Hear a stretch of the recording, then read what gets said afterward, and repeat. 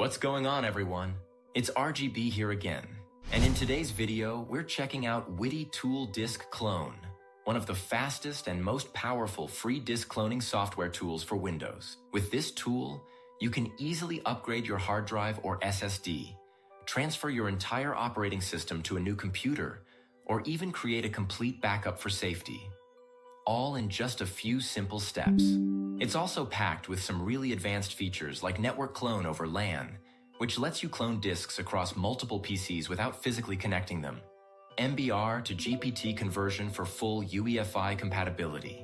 You can change Windows SID, recreate recovery partition, and a lot of other cloning features. Plus, it works with almost every drive type or any brand you use, like HDDs, SSDs, NVMe, and USB drives, or whatever brand and type.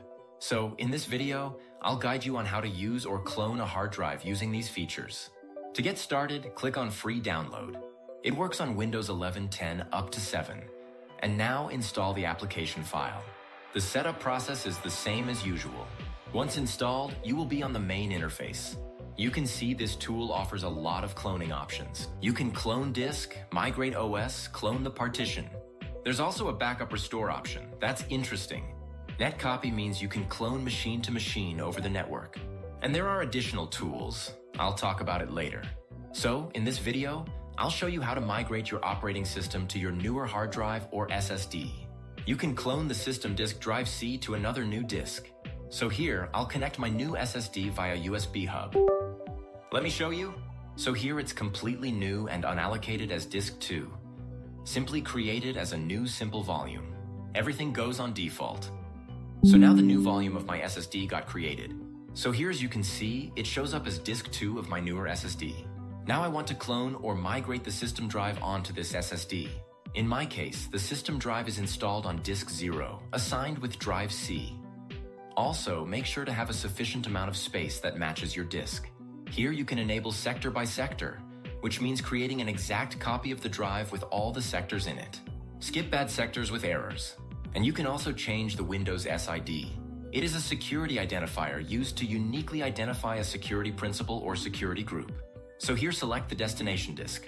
My new disk 2 is selected. And here enable UEFI boot. Go to next. Here you can adjust the target disk layout, but in my case, it's sufficient. Here the system drive and EFI drives are assigned with a basic GPT. Now click on Start Clone. The data on the target disk will be erased. Click on Yes. The process will start. It will take a couple of minutes based on the data size you have on the system drive. So here I'll fast forward this process. Alright, it's almost going to complete. The system drive is migrated. And there we go, the cloning is completed. And here as you can see, the system disk of drive 0 is migrated to the new SSD drive. I also do recommend using the sector to sector option for exact results. And this is an old PC installed with the old 1TB HDD. And here already attached the new SSD, which we migrated the OS just now. Now let's boot it up.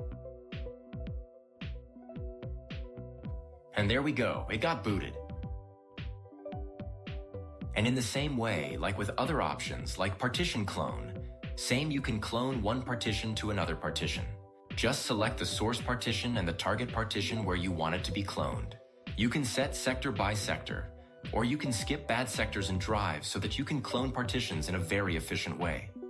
There's also a backup. You can create a backup of any existing partition or disk you want as an image file so that you can restore it later. Select the source you want to backup. Create the backup path. And start backup, it's that simple. And one of the highlight features of this tool is Netcopy. You can clone the disk data between two computers via network without any physical connectors.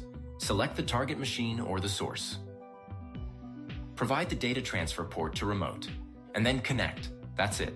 And there are some additional tools, like you can enter command line prompts, refresh disk, you can create a bootable media, supports WinPE from the Windows recovery source, or you can directly use the existing Windows image file to create a bootable media, even via USB with UEFI boot or by legacy.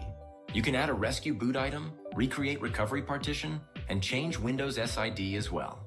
And these are the main cool features here. When it comes to pricing, Witty Tool Disk Clone offers both free and pro versions. The free version allows up to 150 gigs of disk cloning and restore, which is perfect for smaller drives or basic OS migration. If you need unlimited cloning and extra features like creating WinPE bootable USBs, you can upgrade to the Pro plan, which costs just $9.9 per month. Overall, it's a really efficient and feature-rich tool for disk upgrades, backups, and full system migrations. I'll leave the download link in the description below. Go check it out and see how it performs for you. Thanks for watching, and I'll catch you all in the next one.